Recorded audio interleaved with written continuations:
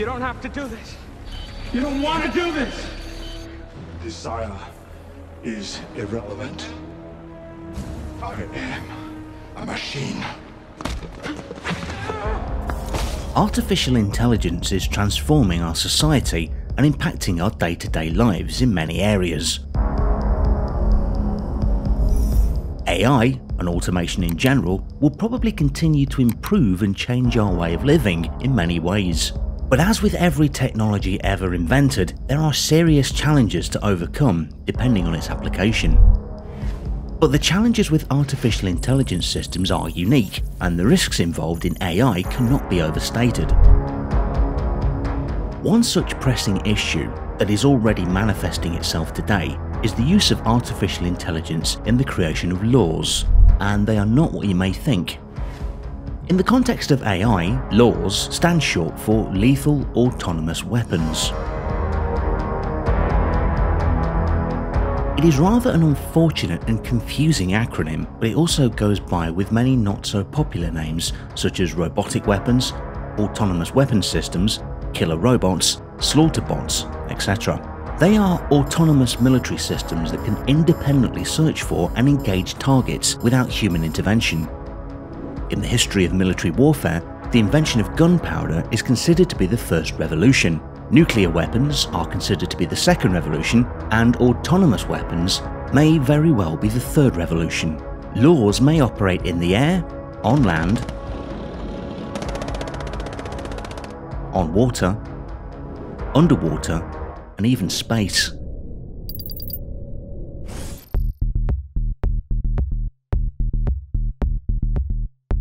The United States has many military AI combat programs, such as the Sea Hunter warship, an autonomous unmanned self-piloting craft launched in 2016 as part of the DARPA Anti-Submarine Warfare Continuous Trial Unmanned Vessel Program.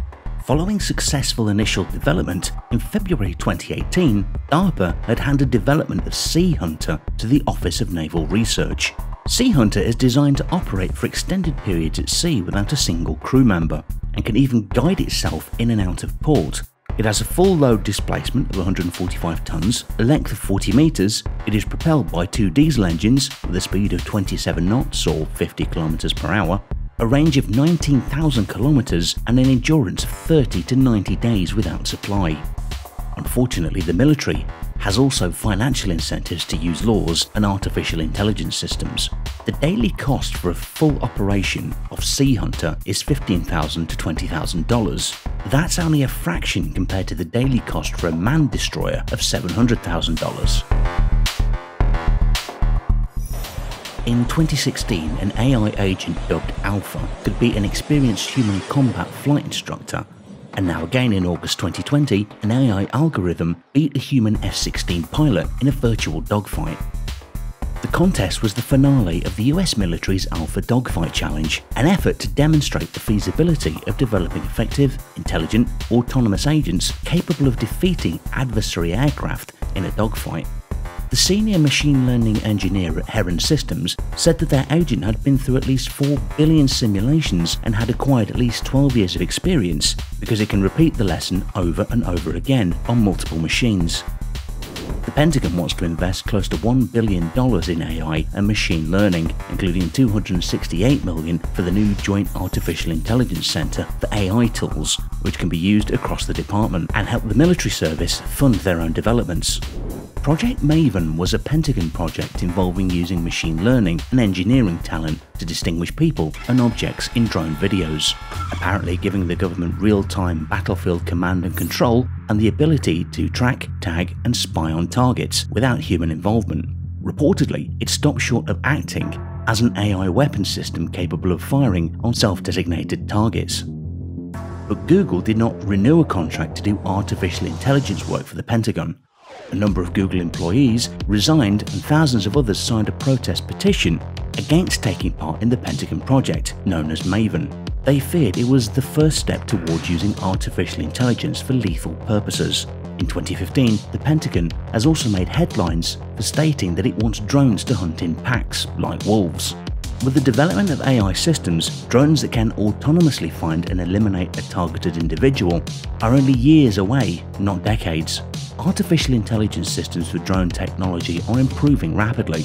At this point, the issue is not with hardware but with software, meaning how fast new AI algorithms can be developed and be implemented for certain military purposes. A quadcopter, for example, does not have to be equipped with a heavy machine gun to engage its target. A drone, geared with a pocket-sized pistol gun targeting vulnerable parts of the human body such as the eyeballs, could be and will be probably used for assassinations. We're about to enter a new age of artificial intelligence technology where high profile's individual security will be increasingly at risk from multiple simultaneous autonomous drone attacks. In 2012, the DoD issued a directive with one of its policies stating Autonomous and semi-autonomous weapon systems shall be designed to allow commanders and operators to exercise appropriate levels of human judgment over the use of force.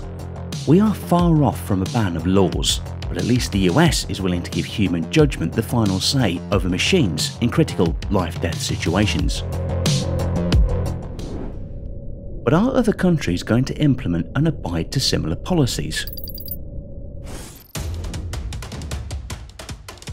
Former Commander-in-Chief of the Russian Air Force, General Viktor Bondarev, stated in 2017 that Russia was working on AI-guided missiles that could decide to switch targets mid-flight. Russia's Military Industrial Committee has approved plans to drive 30% of Russia's combat power from remote-controlled and AI-enabled robotic platforms by 2030. In May 2017, the CEO of Russia's Kronstadt Group, a defense contractor, stated that there already exist completely autonomous AI operation systems that provide the means for UAV clusters when they fulfill missions autonomously, sharing tasks between them and interact and that it is inevitable that swarms of drones will one day fly over combat zones. Russia has been testing several autonomous and semi-autonomous combat systems, such as Kalashnikov's combat module with a machine gun, a camera, and an AI that its makers claim can make its own targeting judgments without human intervention.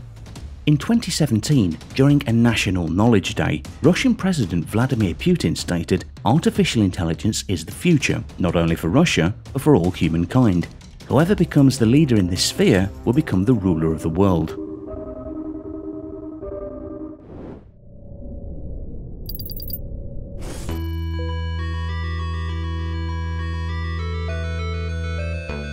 China is pursuing a strategic policy of a military-civil fusion on AI for global technological supremacy. In 2017, the Chinese government announced plans to lead the world in artificial intelligence by 2030. The President of the People's Republic of China, Xi Jinping, believes that being at the forefront of AI technology is critical to the future of global military and economic power competition. The Chinese government has built a mass surveillance system to supervise the lives of Chinese citizens. The Chinese Communist Party claims the mass surveillance network is for tracking criminals. The network includes more than 20 million cameras in public spaces across the country. In a self-congratulatory manner, the state's media reports that it's the world's biggest surveillance network, calling it the eyes that safeguard China. As if this was not disturbing enough, they named the system Skynet. Skynet defense system now activated.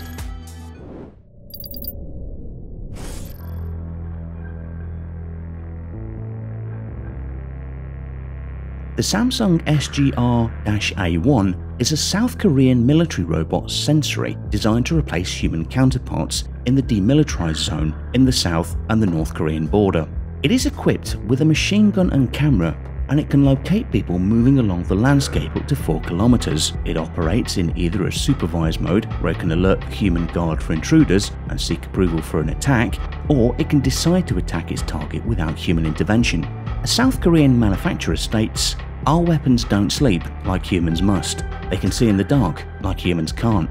Our technology therefore plugs the gaps in human capability. And they want to get to a place where our software can discern whether a target is friend or foe, civilian or military.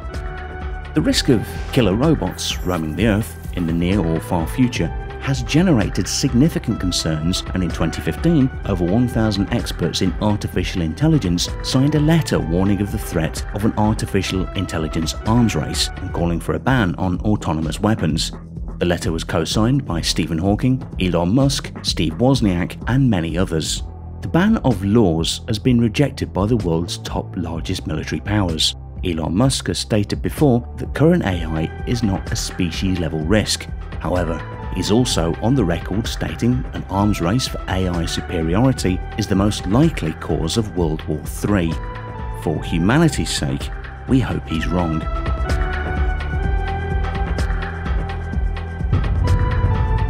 Thanks for watching. Did you like this video? Then show your support by subscribing, ringing the bell and enabling notifications to never miss videos like this.